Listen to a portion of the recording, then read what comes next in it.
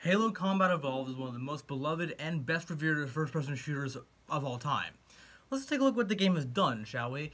It launched with the original Xbox in 2001 and is honestly one of the best launch titles ever of all time.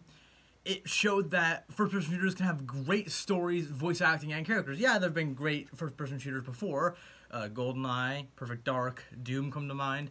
But Halo really changed the whole scene with the way it was played it laid forth the tracks for games like Call of Duty and Battlefield. Take that as a plus or minus. I, I don't really know. Some Battlefield and some Call of Duty games are good, but nowadays they're both just kind of.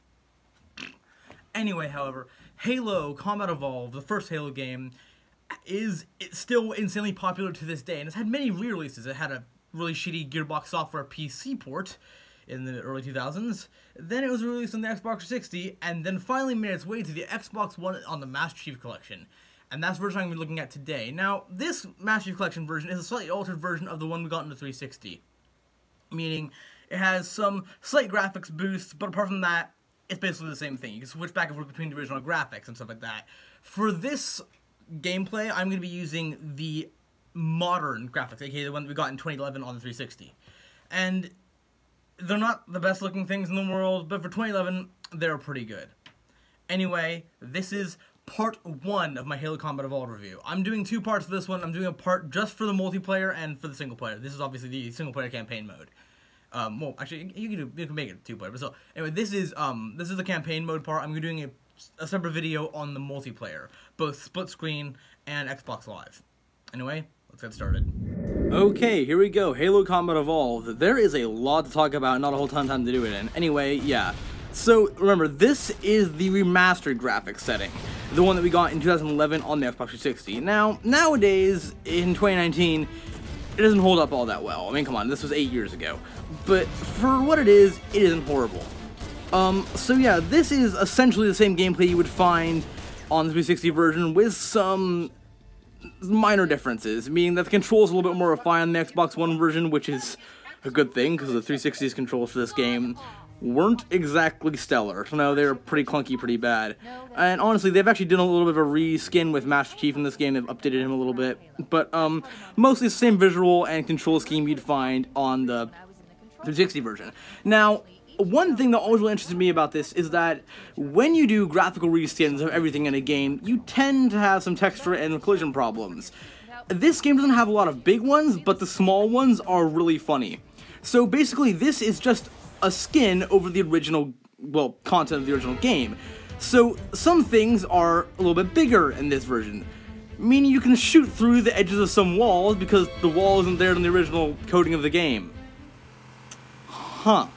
Yeah, because it's not a complete retooling of the code, it's just basically a visual skin over the original Combat Evolved code from 2001, just as I said, slightly updated. Now, the controls. They are not horrible, now remember, the Xbox 360 had some really loose thumbsticks and a D-pad that is an absolute nightmare. Not as bad as the original Duke controller on the original Xbox, but still pretty bad. Um, but the controls for what they are are okay. I would prefer the control. I mean, also in Master Collection, you actually changed the control scheme from what we call classic Halo, which makes no sense if anyone who started playing first-person shooters in the early or in the early 2010s. Like I did. Like I start my my first real uh, Xbox FPS was in 2013. The first one I ever played was um, Halo 4. So um, yeah, the, the, you can change the controls to be more modern and have like left uh, trigger being aimed down sights instead of it on the stick or on one of the sticks. I think it's right or left stick depending what setting you have, southpaw or not. Anyway, yeah. Um, the sound engine has also been retooled slightly since the 360 version came out, and it is absolutely fantastic. I love it. Um, this game also keeps the original ammo counter for the um, most of the weapons, including the, uh, well, as you can see here, the assault rifle. The Combat Evolved Assault Rifle has the fastest fire rate of any Halo Assault Rifle and the most ammo, being the most overpowered assault rifle in the game. And yes, this keeps the original um, Halo Combat Evolved Magnum. Something I'll talk more about in the uh, multiplayer, but here, I can talk a little bit here.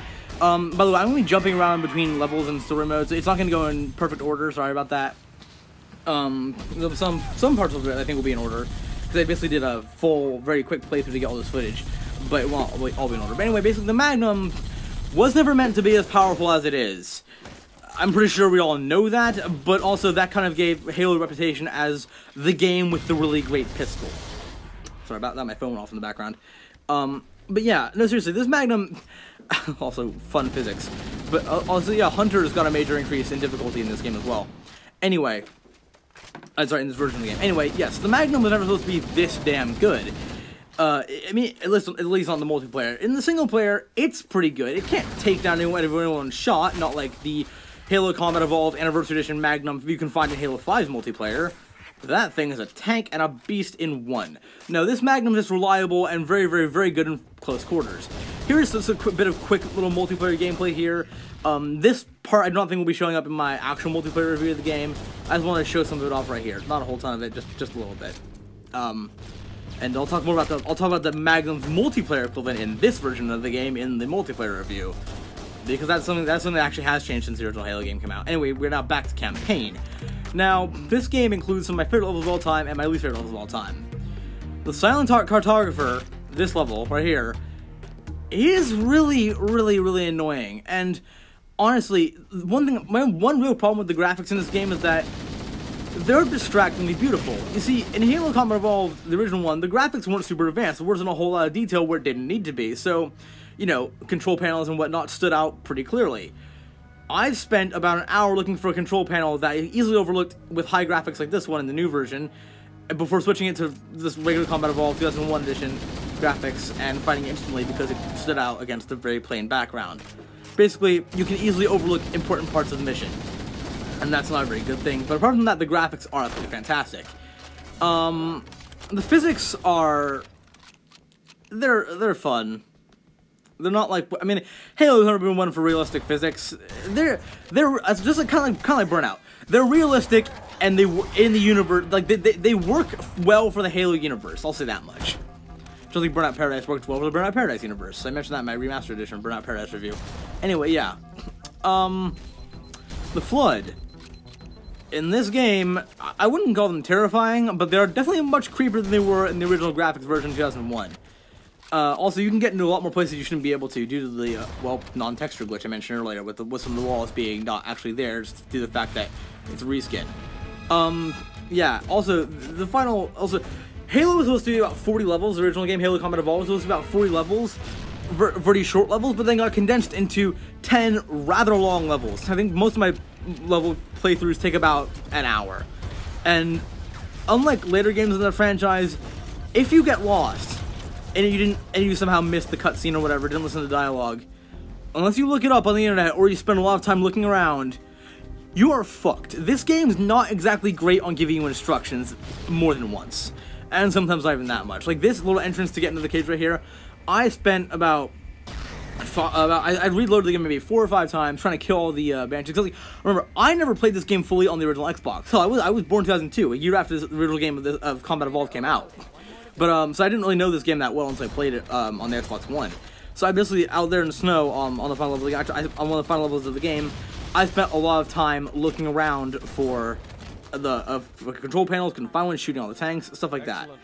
But yeah, basically, it's a really, really, really, really, really fun campaign mode. However, it's not Halo's greatest campaign mode, and not one I ever really want to come back to that much. I'll play it a lot just for nostalgia reasons, um, and just for just for some quick fun, especially with friends. But um, there are definitely much better Halo campaigns out there. Two, three, and four, and especially o three ODST with much better ones. Anyway, let's go on to the wrap up of part one, shall we? Okay, so that was the Halo Combat Evolved Anniversary Edition campaign mode as seen in the Master Chief Collection version. And it's pretty solid. As I said in the video, not my favorite Halo campaign mode. I don't revisit that often, but it's pretty fun. Like, I'd rather play three ODST's campaign mode or fours, or even actually, actually, or two, or two anniversary definitely. But don't get me wrong, it's a great campaign mode, and for a way to start a franchise and a series, hell yeah, this is great. This is a brilliant launching point for the Halo series, and a brilliant launch title for the Xbox. One of the greatest launch titles of all time, in my opinion. In fact, I think I've mentioned that on my launch titles video I did a few months back. Anyway, I love Halo Combat Evolved's campaign mode, even if it isn't the greatest. However, as we see in the next part of the video, I really love, well, its multiplayer mode.